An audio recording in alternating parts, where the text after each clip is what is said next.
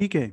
तो आज का हमारा टॉपिक है इंटीग्रेटेड डिज़ीज़ सर्वेलेंस प्रोग्राम या जिसको हम कहते हैं आईडीएसपी क्लास शुरू करने से पहले मैं आपको बता दूँ, कुछ भी लिखने की ज़रूरत नहीं है। क्लास के नोट्स आपको डिस्क्रिप्शन बॉक्स में दे दिए जाएँगे, वहाँ से आप डायरेक्ट डाउनलोड कर सकते हैं। तो शुरू करते हैं हमारे concept of health and disease वाले चैप्टर का टॉपिक या नेशनल हेल्थ प्रोग्राम का टॉपिक मैं इसको concept of health and disease वाले चैप्टर में रखता हूँ, क्योंकि वहाँ पे हम मॉनिटरिंग एंड सर्वेलेंस पढ़े हैं, इसीलिए सर्वेलेंस के बाद मैं इसको पढ़ना चाहूँगा इंटीग्रेटेड डिज़ीज़ सर्वेलेंस प्रोग्राम तो शुरू करते हैं हमारे concept of health and disease वाले चैप्टर का अगला topic that is integrated disease surveillance programme या आईडीएसपी ठीक? अब आप बोलोगे कि यार, ये preventive medicine in obstetric paediatrics geriatrics पढ़ा रहे थे, बीच में आईडीएसपी डाल दिया तो क्यों डाला मैंने यहाँ पे आईडीएसपी हमने पहले पढ़ा है आईसीडीएस और आईएमएनसीआई और इसीलिए इससे मिलते जुलता शब्द होता है I D S IDSP ICDS से मिलता जुलता काफ़ी होता है, इसीलिए जब आप आईसीडीएस पढ़ो, उसी के जस्ट बाद आईडीएसपी पढ़ लेना ना तो आपको कंफ्यूजन दूर हो जाएगा कि भैया इसकी चीज़ें उसमें नहीं है, उसकी चीज़ें इसमें नहीं है, एकदम ही अलग चीज़ है। इनफैक्ट जब मैं नोट्स में डालता हूँ तो इसको चैप्टर ही अलग डाल देता हूँ जिससे कि कोई कंफ्यूजन ना हो। इसीलिए आज का हमारा जो टॉपिक है that is integrated disease surveillance programme ठीक, कब आया था? सबसे पहली चीज़, कब आया था? ये 2009 में आया था। क्यों आया था? हमने क्या किया? इसमें शब्द देखना इंटीग्रेटेड डिज़ीज़ सर्वेलेंस तो हमने अलग अलग बीमारियों को, का जो सर्वेलेंस चल रहा था, उनके लिए हमने एक अप्रोच इस्तेमाल की, जिसमें हमने अलग अलग तरह के हमने लैब लेवल पे किया, हमने मेडिकल ऑफिसर के लेवल पे किया, हमने अलग अलग हेल्थ सेक्टर्स को इंटीग्रेट किया और सारे सेक्टर्स को मिला के अलग अलग तरह के सर्वेलेंस को मिला के हमने बहुत सारी बीमारियों को एक साथ ढूँढने का या सर्वेलेंस करने का प्रयास किया। That is integrated disease surveillance programme इसका मुख्य उद्देश्य क्या था? इसका मुख्य उद्देश्य था कि हमको अर्ली वार्निंग सिग्नल्स मिल सकें किसी भी बीमारी के आउटब्रेक के पहले, जिससे कि हम उसके लिए एक इफ़ेक्टिव रिस्पॉन्स टेक्निक का पहले से तैयार रह सके कि भैया इन केस अगर आउटब्रेक होता है तो हम उसको अच्छे से रिस्पॉन्ड कर सकें या इनफैक्ट आउटब्रेक होने से भी बचा सकें और उसके लिए हमको अर्ली वार्निंग सिग्नल्स को डिटेक्ट करते आना चाहिए और उसी के लिए हम सर्वेलेंस कर रहे हैं। Got it? तो आईडीएसपी 2009 और क्या अर्ली वार्निंग सिग्नल्स के लिए ये था, ठीक? अब कोई भी नेशनल हेल्थ प्रोग्राम जब आप पढ़ते हो ना तो आप उसका एडमिनिस्ट्रेशन ज़रूर देखते हो कि भाई एडमिनिस्ट्रेशन के तहत या स्टाफ के तहत क्या क्या लोग आते हैं। तो इसके एडमिनिस्ट्रेशन पे अगर हम नेशनल लेवल या सेंट्रल लेवल की बात करें तो होता है सेंट्रल सर्वेलेंस यूनिट। पूरा सर्वेलेंस का प्रोग्राम है तो हर चीज़ में सर्वेलेंस आएगा यहाँ पे। सेंट्रल सर्वेलेंस यूनिट ये क्या होता है? National centre for disease control से इंटीग्रेटेड होता है। State surveillance unit state surveillance unit सारे के सारे स्टेट के हेडक्वार्टर सारे के सारे स्टेट में हेडक्वार्टर्स होते हैं और डिस्ट्रिक्ट सर्वेलेंस यूनिट जो होती है, हर डिस्ट्रिक्ट लेवल पे आपको मिल जाएगी। ठीक है? तो इंटीग्रेटेड डिज़ीज़ सर्वेलेंस प्रोग्राम का नेशनल लेवल, स्टेट लेवल और डिस्ट्रिक्ट लेवल पे एक एक यूनिट होता है। तो national centre for disease control, her state में एक हेडक्वार्टर और हर डिस्ट्रिक्ट में। ठीक है? यहाँ पे नीचे देखना, आप जब इसकी साइट पे जाओगे तो इंटीग्रेटेड डिज़ीज़ सर्वेलेंस प्रोग्राम जो है, उसमें आप देखोगे कि वो national centre for disease control के तहत director general of health services में आता है और कौन सी ministry? Ministry of health and family welfare के द्वारा संचालित किया गया है। समझ गए? तो ये सारी जानकारी आपको मिल जाएगी। बहुत बहुत बहुत इंपॉर्टेंट चीज़ क्या याद रखनी है? इसका भैया लोगो। लोगो इसका याद रखना कि ये आपको पृथ्वी दिख रही है, पृथ्वी में आपको तीन लोग दिख रहे हैं। ये क्यों? क्योंकि हम तीन तरह के सर्वेलेंस वहाँ पे देखते हैं तो वो हम देखेंगे आगे तीन तरह के सर्वेलेंस भी तो तीन लोग मिलके आईडी एसपी कर रहे हैं। ठीक है? ये याद रखना, इसका लोगो आपको स्पॉट्स में भी पूछा जाता है और एमसीक्यू तो इमेज बेस्ड आ ही सकता है। गॉट इट अब हमने ये देख लिया कि उसका एडमिनिस्ट्रेशन क्या है। हमने ये देख लिया कि भाई उसको क्यों शुरू किया गया था। अब हम ये देख लेते हैं जब एडमिनिस्ट्रेशन देख लिया तो इसकी रिपोर्टिंग यूनिट्स क्या हैं? कहाँ से जो हमको डेटा मिलता है इसका, कहाँ से हमको आईडीएसपी से रिलेटेड सारी जानकारी मिलती है, कहाँ से हमको सारे केसेस की जानकारी मिलती है, ये-ये सिंड्रोम्स, ये-ये केसेस, ये-ये बीमारियों के मिले। वो होता है हमारे पास दो हैं, पब्लिक सेक्टर है, प्राइवेट सेक्टर है। ये हमने कहाँ पढ़ा था याद है? ये हमने हेल्थ केयर डिलीवरी सिस्टम में पढ़ा था, उसका वीडियो हमने health care of the community वाली प्लेलिस्ट में जाओगे, वहाँ पे शेयर किया हुआ है। तो हेल्थ केयर डिलीवरी सिस्टम पढ़ा था, वहाँ पे पढ़ा था पब्लिक सेक्टर और प्राइवेट सेक्टर। पब्लिक सेक्टर क्या होता है? जितने भी गवर्नमेंट सेक्टर के हॉस्पिटल होते हैं, प्राइवेट सेक्टर जो प्राइवेट सेक्टर के हॉस्पिटल्स होते हैं। तो पब्लिक सेक्टर में रूरल यानी कि ग्रामीण क्षेत्र या गाँव में कि जो डेटा होता है कि कितने बीमार हुए, किस तरह के साइन सिम्टम्स मिले, वो हम सारा का सारा गैदर करेंगे सीएचसी से। सीएचसी यानी कम्युनिटी हेल्थ सेंटर या फिर सामुदायिक स्वास्थ्य केंद्र से। अर्बन, शहरी लेवल पे हम अपना डेटा कहाँ से लेके आएँगे रिपोर्टिंग यूनिट क्या है शहरी लेवल की? डिस्ट्रिक्ट हॉस्पिटल या मेडिकल कॉलेज। ये गवर्नमेंट मेडिकल कॉलेज और डिस्ट्रिक्ट हॉस्पिटल, यहाँ से हम सारी जानकारी एकत्रित करेंगे शहर की। समझ गए? तो पब्लिक सेक्टर का, की जानकारी सारे गाँव में सीएचसी से और शहर में डिस्ट्रिक्ट हॉस्पिटल और मेडिकल कॉलेज से। प्राइवेट सेक्टर से भी याद रखना, जो पेशेंट सरकारी में नहीं जा रहे होंगे, वो प्राइवेट में जा रहे होंगे तो प्राइवेट सेक्टर से भी हम सारी जानकारी लेंगे अब प्राइवेट सेक्टर में गाँव से कहाँ से लेंगे गाँव की जानकारी हम लेंगे, प्राइवेट प्रैक्टिशनर्स जो गाँव में प्रैक्टिस करते हैं, उनसे और शहरी क्षेत्र की जानकारी, वही जो प्राइवेट मेडिकल कॉलेजेस हैं प्राइवेट मेडिकल कॉलेज से सारी जानकारी लेंगे किस किस तरह के केसेस आए। उसके अलावा एनजीओज जो काम कर रहे हैं शहर में, उनसे भी सारी जानकारी हम लेंगे। तो इस तरह से हम सारी जानकारी लेते हैं कि भैया प्राइवेट सेक्टर और गवर्नमेंट सेक्टर में कौन कौन से केसेस आए कैसे कैसे केसेस आए, साइन एंड सिम्टम्स वाले सारे। ठीक? तो हमने रिपोर्टिंग यूनिट देख ली रिपोर्टिंग यूनिट में दो चीज़ देख ली हमने कि भैया पब्लिक सेक्टर में क्या है प्राइवेट सेक्टर में क्या है पब्लिक सेक्टर में भी गाँव में सीएचसी शहर में डिस्ट्रिक्ट हॉस्पिटल प्राइवेट सेक्टर में गाँव में प्राइवेट प्रैक्टिशनर शहर में प्राइवेट मेडिकल कॉलेज और एनजीओ ठीक है? तो ये तो हो गया भाई हमारा आईडीएसपी की पूरी की पूरी रिपोर्टिंग यूनिट अब अगला क्या है? हमने देख लिया एडमिनिस्ट्रेशन हमने देख लिया रिपोर्टिंग यूनिट अब इसका नाम क्या है? प्रोग्राम का नाम है इंटीग्रेटेड डिज़ीज़ सर्वेलेंस प्रोजेक्ट। तो हम पहले देखेंगे इंटीग्रेशन क्या किया, फिर देखेंगे डिज़ीज़ सर्वेलेंस कैसे किया। जानकारी तो हमको मिल गई, कहाँ कहाँ से, कहाँ कहाँ से ये जानकारी हमको मिल रही है, कहाँ कहाँ पे डिज़ीज़ सर्वेलेंस किया जा रहा है। मगर इंटीग्रेशन किन किन चीज़ों का किया और डिज़ीज़ सर्वेलेंस कैसे किया, ये दो मेन चीज़। पहले देख लेते हैं इंटीग्रेशन किस किस का किया। हमने हेल्थ सेक्टर और नॉन हेल्थ सेक्टर दोनों का इंटीग्रेशन किया, दोनों की हेल्प ली। जैसे हेल्थ सेक्टर में तो हमारे पास पूरे अस्पताल हैं हेल्थ वर्कर्स हैं, उन सब के अलावा हमने नॉन हेल्थ सेक्टर सेक्टर जैसे कि टीचिंग सेक्टर है स्कूल्स स्कूल टीचर्स इनकी भी मदद ली। हमने एग्रीकल्चर सेक्टर है फार्मर्स सरपंच वगैरह, इन लोगों की भी मदद ली। इन सब की मदद ली हमने डिज़ीज़ को सर्वेलेंस करने में। ऐसे ही नॉन कम्युनिकेबल डिज़ीज़ सर्वेलेंस और कम्युनिकेबल डिज़ीज़ सर्वेलेंस दोनों को इंटीग्रेट कर दिया हमने कि भैया अलग अलग सर्वेलेंस सिस्टम चल रहे थे नॉन कम्युनिकेबल डिज़ीज़ के लिए अलग चल रहे थे कम्युनिकेबल डिज़ीज़ के लिए अलग चल रहे थे, उन दोनों को भी इंटीग्रेट कर दिया कि भैया आओ चलो, मिलके हम डिज़ीज़ सर्वेलेंस करते हैं, दोनों को मिला लो और देखो कि कितने केसेस आए। ठीक? उसके बाद हमने प्राइवेट सेक्टर और एनजीओ का इंटीग्रेशन किया कि भैया पब्लिक सेक्टर में तो ठीक है, हमको सारी जानकारी मिल जाएगी सरकार के द्वारा प्राइवेट सेक्टर के इंटीग्रेशन कैसे करें? देखो, प्राइवेट प्रैक्टिशनर अपना अलग चलते हैं, प्राइवेट हॉस्पिटल्स अपना अलग चलते हैं एनजीओ अपना अलग चलते हैं।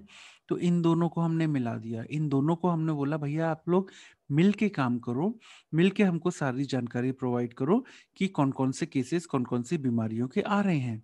तो हमने इंटीग्रेशन किया प्राइवेट सेक्टर और एनजीओ का। उसके बाद हमारे पास मेडिकल कॉलेज तो थे हमने इनको इंटीग्रेट कर दिया एकेडमिक इंस्टीट्यूशन से। देखो, एक शहर में ना फॉर एग्जांपल उज्जैन है। उज्जैन में मेडिकल कॉलेज है, लेकिन मेडिकल कॉलेज के अलावा भी तो कॉलेज हैं। हमारे पास जीडीसी है गर्ल्स डिग्री कॉलेज है हमारे पास इंजीनियरिंग कॉलेज है। तो हमने क्या किया मेडिकल कॉलेजेस को इंटीग्रेट कर दिया दूसरे सारे एकेडमिक इंस्टीट्यूशन या दूसरे सारे कॉलेजेस से। तो इनको भी हमने तो हमको स्टूडेंट लेवल पे भी सारी जानकारी मिल गई कि स्टूडेंट्स में भी ये ये बीमारियाँ मिल रही हैं। तो हमने यहाँ भी इंटीग्रेशन किया। समझ गए? इंटीग्रेशन हेल्थ और non health sector, communicable non communicable disease, private और एनजीओ मेडिकल कॉलेजेस और दूसरे कॉलेजेस। इन सब का हमने मिला के इंटीग्रेशन किया और इनसे कहा कि अब आपके यहाँ जितने भी केसेस आ रहे हैं साइन एंड सिम्टम्स वाले आ रहे हैं, वो हमको बताओ। तो बताना क्या है? दैट इज़ सर्विलेंस का क्लासिफिकेशन कैसे किया है? इंटीग्रेशन तो हमने बता दिया किस किस लेवल पे किया है, लेकिन नाम क्या है? इंटीग्रेटेड डिज़ीज़ सर्विलेंस प्रोजेक्ट तो ये डिज़ीज़ का जो सर्विलेंस कर रहे हैं, उस सर्विलेंस में क्या करना है? वो बहुत इंपॉर्टेंट है और इसीलिए इसके बाद वाली जो स्लाइड आएगी, वो बहुत इंपॉर्टेंट है। पहले हम सर्विलेंस देख लेते हैं, कैसे करते हैं आईडीएसपी में। तो सर्विलेंस के तहत हर चौदह दिन में डेटा कलेक्ट किया जाता है और उनको पब्लिश किया जाता है मंथली बेसिस पे कि भाई एक एक अपन ने मान लो कि चौदह तारीख को ले लिया, सारी जगहों से डेटा और एक अट्ठाईस तारीख को डेटा ले लिया और फिर आपने इकतीस तारीख को सारा का सारा डेटा पब्लिश कर दिया कि भाई यहाँ यहाँ ये ये मिले। ये डेटा कहाँ से लिया है? याद है ना? हमने रिपोर्टिंग यूनिट बताई थी CHC district hospital medical college private practitioner private medical college NGO ये लोग कहाँ बताएँगे? डिस्ट्रिक्ट लेवल पे डिस्ट्रिक्ट सर्वेलेंस यूनिट को बताएँगे स्टेट फिर ये स्टेट लेवल पे बताएगी स्टेट सर्वेलेंस यूनिट को, फिर नेशनल लेवल पे बताएगी integrated national centre for disease control को। तो ऐसे सारी की सारी जानकारी आगे बढ़ेगी, ठीक है? तो क्या आप करेंगे? हर चौदह दिन में डेटा एकत्रित किया जाएगा और फिर हर मंथ के आखिर में या मंथ की शुरुआत में सारा का सारा डेटा पब्लिश किया जाएगा। ठीक, मगर, ये तो चौदह दिन वाला हो गया, मगर वीकली भी डिज़ीज़ सर्वेलेंस किया जाता है, वीकली भी कुछ डिजीजेस के सर्वेलेंस किया जाता है, और वो कौन सी डिज़ीज़ होती हैं? वो एपिडेमिक प्रोन डिज़ीज़ जो होती हैं, ऐसी डिजीजेस जिनका आउटब्रेक या एपिडेमिक हो सकता है उनका डेटा हम वीकली लेते हैं। कहाँ से? वो सारे सेंटर से। सब सेंटर यानी कि उप स्वास्थ्य केंद्र, पीएचसी यानी कि प्राथमिक स्वास्थ्य केंद्र, सीएचसी, कम्युनिटी हेल्थ सेंटर या सामुदायिक स्वास्थ्य केंद्र, डिस्ट्रिक्ट हॉस्पिटल और मेडिकल कॉलेज, ठीक है? सब सेंटर या उप स्वास्थ्य केंद्र, पीएचसी, प्राइमरी हेल्थ सेंटर या प्राथमिक स्वास्थ्य केंद्र, कम्युनिटी हेल्थ सेंटर या सामुदायिक स्वास्थ्य केंद्र, डिस्ट्रिक्ट हॉस्पिटल, जिला चिकित्सालय या मेडिकल कॉलेज। इन सभी से हम हर हफ़्ते डेटा लेते हैं ऐसी बीमारियों का जिनका, जिनके चांसेस होते हैं कि वो एपिडेमिक करा सकते हैं या आउटब्रेक करा सकते हैं। एपिडेमिक क्या होता है? ये हमने डिज़ीज़ कंट्रोल वाले चैप्टर में एपिडेमियोलॉजी वाले चैप्टर में जो हमने डिज़ीज़ कंट्रोल वाला पार्ट है, उसके अंदर हमने एंडेमिक एपिडेमिक और पेंडेमिक को डिस्कस किया है। वहाँ से आप डायरेक्ट देख सकते हो। ठीक? इन शॉर्ट एपिडेमिक क्या होता है? एपिडेमिक का मतलब होता है, जितना हमने सोचा है, उसके मुकाबले कहीं ज़्यादा केसेस मिलने लगे दैट इज़ एपिडेमिक ठीक? तो ये समझ गए डिज़ीज़ सर्वेलेंस कैसे करते हैं आईडीएसपी में? नॉर्मली तो हर चौदह दिन में डेटा लेते हैं और हर महीने पब्लिश करते हैं, मगर ऐसी बीमारियाँ जो आउटब्रेक करा सकती हैं या एपिडेमिक करा सकती हैं, उनका डेटा हम वीकली लेते हैं। वही सब centre P H C C H C district hospital वही जो हमारी रिपोर्टिंग साइट्स थी। वहीं से, ठीक है? तो ये तो हो गया आपका सर्वलेंस अब ये जो आपने कहा ना कि हम डेटा लेते हैं हर चौदह दिन में ये डेटा लेते क्या लेते हैं और उनका करते क्या है, वो भी इम्पोर्टेंट है और वो आता है कंपोनेंट्स में। आईडीएसपी के कंपोनेंट्स क्या है? सबसे पहली चीज़ आपको क्या करना है? आपको डेटा को कलेक्ट करना है। डेटा कहाँ से कलेक्ट किया आपने? वही रूरल और अर्बन से, C H C, P H C और डिस्ट्रिक्ट हॉस्पिटल्स, यहाँ से आपने डेटा पूरा का पूरा कलेक्ट कर लिया कि भाई कौन कौन सी बीमारियों के कौन कौन से केसेस आए कौन कौन से सिंड्रोम्स के आए ये सारा आपने डेटा कलेक्ट कर लिया। फिर आपने इस डेटा को एक जगह कंपाइल कर लिया, आपने डेटा एंट्री कर ली, किसी सॉफ्टवेयर में अपडेट कर दिया। उसके बाद आपने उस डेटा को एनालाइज किया और पता लगाया कि भैया, कि कौन सी बीमारी के ज़्यादा है, कौन सी बीमारी के कम आए, कौन सी बीमारी बढ़ रही है, कौन सी बीमारी कम हो रही है, आपने एनालिसिस कर लिया। उसके बाद आपने फॉलो अप एक्शन प्लान बनाया और फॉलो अप किया कि भाई, जो बीमारी बढ़ रही है, उसके लिए जो भी सर्विसेज़ दी जा रही थी, उनको और बेहतर करो, जिससे कि वो उतनी ना बढ़े। और सबसे आखिरी में होता है फीडबैक कि भैया जहाँ जहाँ आपको लगा है कि इन इन क्षेत्रों में बीमारियाँ ज़्यादा मिली हैं, वहाँ वहाँ के मेडिकल ऑफिसर से, वहाँ वहाँ के डॉक्टर से आप संपर्क करेंगे फीडबैक देंगे कि भाई ऐसा ऐसा है। तो ये पूरा का पूरा आपका कंपोनेंट होता है आईडीएसपी का कि डेटा को कलेक्ट किया कंपाइल किया एनालाइज किया फॉलो अप किया फीडबैक किया। ठीक है? तो C two A F two दो सी हैं कलेक्शन एंड कंपाइलेशन ए से एनालिसिस और एफ़ से फॉलो अप और फीडबैक ठीक है? तो ऐसे आप याद कर सकते हो। ये हो गया आपका कंपोनेंट अब सबसे मेन स्लाइड जो है आईडीएसपी की वो ये है। ये क्या है? हमने बार बार कहे ना सर्वेलेंस करना सर्वेलेंस करना सर्वेलेंस करना सर्वेलेंस करना। तो ये सर्वेलेंस जो करना है, इसको तीन भागों में विभाजित किया गया सर्वेलेंस को। पहला है सिंड्रोमिक सर्वेलेंस दूसरा है प्रोबेबल केस सर्वेलेंस और तीसरा है लैब सर्वेलेंस क्या होता है? कौन करता है और कौन कौन सी बीमारियों के लिए करते हैं, ये हम देखेंगे इसमें। पहला सिंड्रोमिक सर्वेलेंस जो होता है। सिंड्रोमिक सर्वेलेंस में आप सिर्फ़ सिंड्रोम्स देखते हो, कहीं ये ये सिंड्रोम या ये साइन एंड सिम्टम तो नहीं मिल रहे हैं, और फिर उसको आप रिपोर्ट करते हो कि भाई, अब जो आपकी रिपोर्टिंग साइट थी वहाँ पे। अब ये जो साइन एंड सिम्टम मिल रहे हैं कि नहीं मिल रहे हैं, ये सब लोग कौन देखेंगे? ये मुख्यतः जो होता है ना पैरामेडिकल पर्सनल या हेल्थ वर्कर्स जैसे कि फ़ील्ड वर्कर्स होते हैं और जो सब सेंटर्स वगैरह में बैठे रहते हैं पैरामेडिकल पर्सनल्स होते हैं, वो लोग देखते हैं ये चीज़ कि भाई ये ये साइन एंड सिम्टम के केसेस आ रहे हैं, नहीं आ रहे हैं। जैसे कि मुख्यतः इसमें छह सिंड्रोम्स लिए गए हैं सिंड्रोमिक सर्वेलेंस में। वो छह सिंड्रोम कैसे हैं? एक तो अनयूजल सिंड्रोम है अनयूजल सिंड्रोम है जैसे कि बहुत कम जो मिलता है एंथ्रैक्स या प्लेग वगैरह के लिए। कुछ अनयूजुअल अगर आपको मिल रहा है ना तो आप सस्पेक्ट कर सकते हो, भैया, ये एंथ्रैक्स या प्लेग जॉइंडिस अगर मिल रहा है आपको तो आप सस्पेक्ट कर सकते हो, भैया हेपेटाइटिस मलेरिया येलो फीवर या लेप्टोस्पायरोसिस हो सकता है. डायरिया अगर आपको मिल रहा है पेशेंट्स में तो आप कॉलरा को सस्पेक्ट कर सकते हो। एक्यूट फ्लसिड पैरालिसिस अगर मिल रहा है आपको, पोलियो सस्पेक्ट कर सकते हो।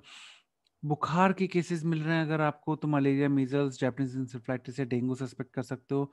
कफ वाले केसेस आ रहे हैं तो टीबी सस्पेक्ट कर सकते हो। तो ये छह नाम याद रखने हैं। अनयूजुअल सिंड्रोम फिर जॉइंडिस डायरिया एएफपी फीवर और कफ। इसको याद करने के लिए हम देखते हैं ना भाई, बार्सिलोना है। बार्सिलोना में हमारा मैसी खेल रहा है। उसके बाद हम जो अलग अलग फुटबॉल क्लब्स होते हैं, उनके बारे में देखते हैं। इंडिया में भी हैं, अपना मोहन बगान एफसी है, उसके अलावा गोवा एफसी है एफसी फॉर फुटबॉल क्लब तो फुटबॉल क्लब इमेजिन करो कि अगर डॉक्टर्स का फुटबॉल क्लब हो तो सारे डॉक्टर्स मिलके अपना फुटबॉल क्लब बनाए. इनफैक्ट जूनियर डॉक्टर्स मिलके. तो कैसे, क्या नाम रखेंगे? तो J D A junior doctor association का फुटबॉल क्लब अगर बन जाए काफ़ी अनयूजुअल होगा वो राइट मतलब ये चीज़ आपको काफ़ी अनयूजुअल लगेगी कि बढ़िया एप्रिन एप्रिन स्टेथो डाल के भाई फुटबॉल खेल रहा है फुटबॉल हाथ में लिए हुआ है।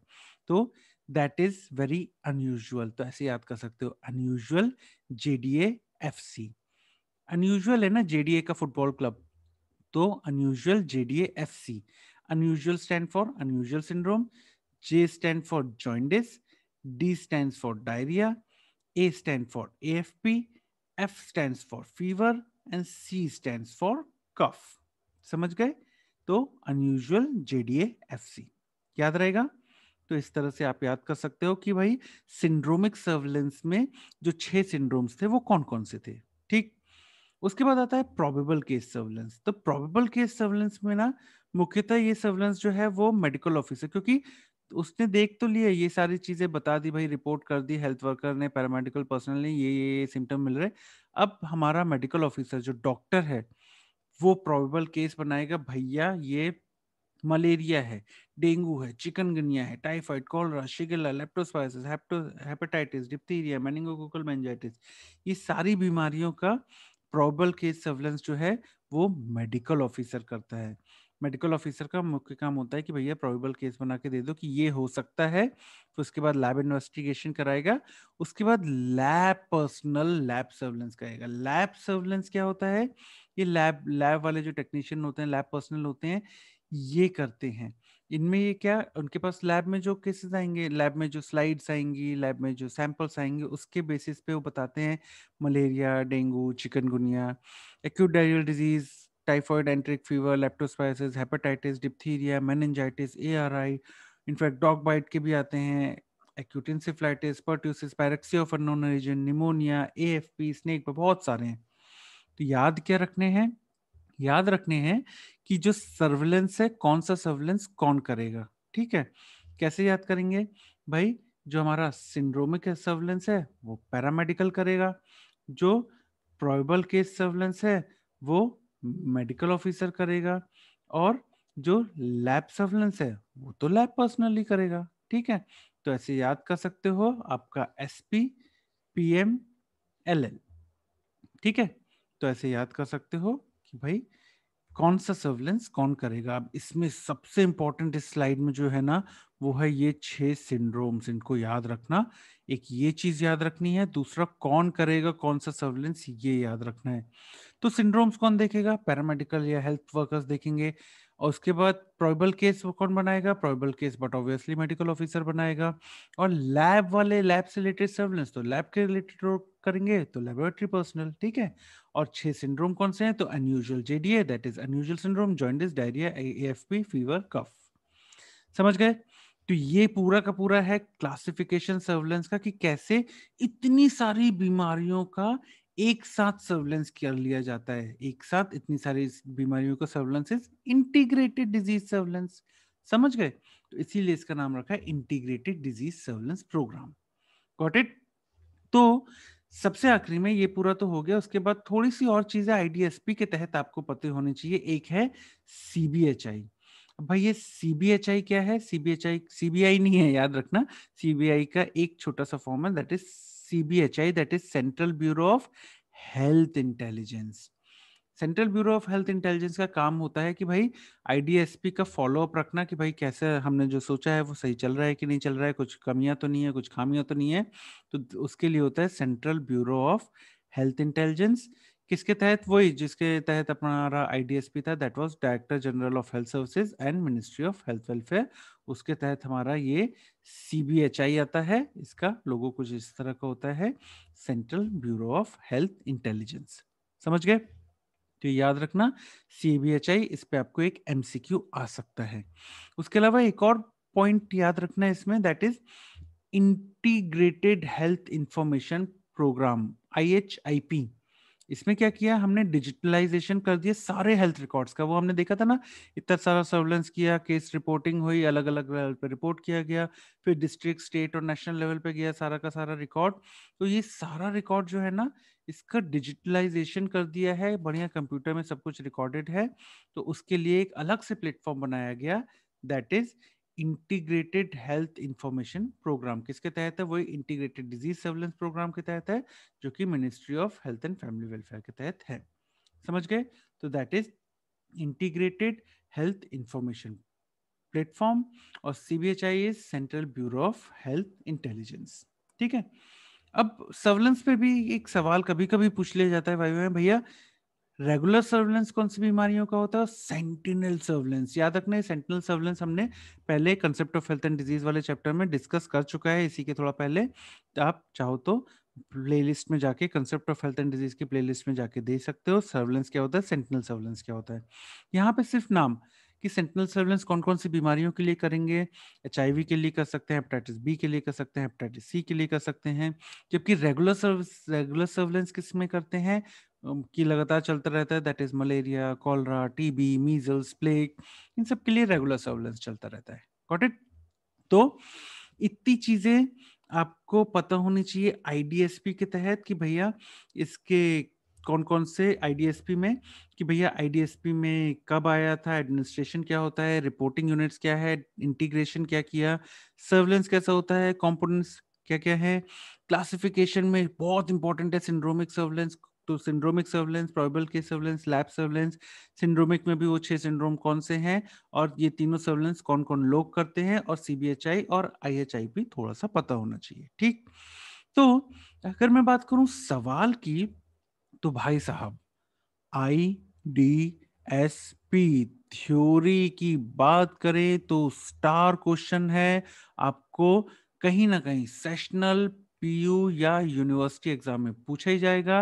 वहाँ नहीं पूछा जाएगा तो स्पोर्ट्स में पूछ लिया जाएगा वहाँ नहीं पूछा जाएगा तो आपको थ्योरी वाइवा में पूछ लिया जाएगा बहुत इंपॉर्टेंट क्वेश्चन है पूछा ही जाएगा कहीं ना कहीं और कई बार तो ना पता आईडीएसपी का फुल फॉर्म नहीं बता पाते हैं लोग भैया इंटीग्रेटेड डिज़ीज़ सर्वेलेंस प्रोजेक्ट ये तीन लोग ने मिलकर वो तीन तरह के सर्वेलेंस थे ना तो ये हमारा सिंड्रोमिक सर्वेलेंस समझ लो, ये हमारा प्रोबेबल केस सर्विलेंस समझ लो, ये हमारा लैब सर्वेलेंस समझ लो। तो 3 लोग मिलकर सर्विलेंस कर रहे हैं integrated disease surveillance programme. Simple क्या मुश्किल समझ नहीं आता मेरे को। ठीक। अगर मैं बात करूँ वाइवा की, तो वाइवा में आपसे जो पूछा जाता है, वो है कि भाई साहब इंटीग्रेशन किस-किस चीज़ का किया है ये बताओ। तो इंटीग्रेशन में पता होना चाहिए। इसमें याद रख लेना भैया कि स्पॉट्स स्पॉट्स में आपको ये लोगो दिया जा सकता है आईडीएसपी का तो आपसे बनना चाहिए। वाइवा में इंटीग्रेशन पूछ लिया जाता है आपसे कि इंटीग्रेशन किन-किन सेक्टर के बीच में हो रहा है। वाइवा का बहुत इंपॉर्टेंट क्वेश्चन कि भैया कितने दिन में डेटा कलेक्ट किया जाता है और क्या 14 दिन के अंदर भी किया जाता है? तो हाँ, वीकली बेस पे भी किया जाता है, हर सात दिन में अगर कोई एपिडेमिक प्रोन डिज़ीज़ है तो। इस स्लाइड पे तो वाइवा आता ही है कि भैया कितने में क्लासिफाई किया गया है? तो तीन में क्लासिफाई किया गया है, सिंड्रोमिक, प्रोबेबल केस और लैब में। अगला वाइवा का क्वेश्चन कि भैया वो 6 सिंड्रोम कौन से हैं? तो अनयूजुअल जेडीएफसी। उसके बाद वाइवा में पूछ लिया जाता है, सिंड्रोमिक सर्विलेंस कौन करता है? प्रोबेबल केस सर्विलेंस कौन कर सकता है? तो ये भी आपसे वाइवा में पूछ लेते हैं। ठीक? अब एमसीक्यू की बात करते हैं। एमसीक्यू में जितने भी अंडरलाइन पार्ट आपको हमारे नोट्स और स्लाइड्स में मिलेंगे, वो सभी पीजी एंट्रेंस एग्ज़ाम में पूछे गए एमसीक्यूज हैं तो हमको एमसीक्यू के नाम पे याद रखना, हर लाइन पे, यहाँ पे, हर लाइन पे आपको एमसीक्यू मिलेगा। जैसे कि, फॉर एग्जांपल, पहली चीज़ कि आपको इंटीग्रेशन इंटीग्रेशन, इस पे कौन कौन से एमसीक्यू हैं? इस पे सवाल आपसे पूछे जाते हैं तो चारों लेवल आपको एमसीक्यू के पता होने चाहिए कि भाई इंटीग्रेशन आपको आईडीएसपी में इन इन चीज़ों में किया जाता है। उसके बाद एमसीक्यू जो बनता है, वो हर चौदह दिन में आपको डेटा कलेक्ट करना है, इस पे एमसीक्यू बनता है। उसके बाद सिंड्रोम्स भाई साहब सिंड्रोम्स पे भी एमसीक्यू बनता है कि jaundice diarrhoea AFP fever cough इस पे भी आपको एमसीक्यू बनता है। एमसीक्यू आपको इस पे भी बनता है कि भैया मेडिकल ऑफिसर कौन सा सर्विलेंस करता है? तो प्रोबेबल केस सर्विलेंस करता है, इस पे भी एमसीक्यू बनता है। सीबीएचआई और इंटीग्रेटेड हेल्थ इंफॉर्मेशन प्लेटफॉर्म इन दोनों पे एमसीक्यू बनता है कि भैया ये क्या होता है या इसका मतलब क्या है? तो और अगर इमेज बेस्ड आएगा तो आपको इस पे एमसीक्यू आ सकता है कि भैया ये इमेज काहे की है? तो ये सीबीएचआई और आपको इसके आईडीएसपी जो है, उसके लोगों पे भी एमसीक्यू बन सकता है तो ये भी पता होना चाहिए। ठीक? तो इतनी चीज़ें हैं जो आपको आईडीएसपी या कहना चाहिए इंटीग्रेटेड डिज़ीज़ सर्विलेंस प्रोग्राम में पता ही होनी चाहिए। Thank you